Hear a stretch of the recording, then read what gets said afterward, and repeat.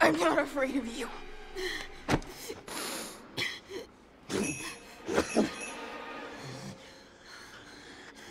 You will be.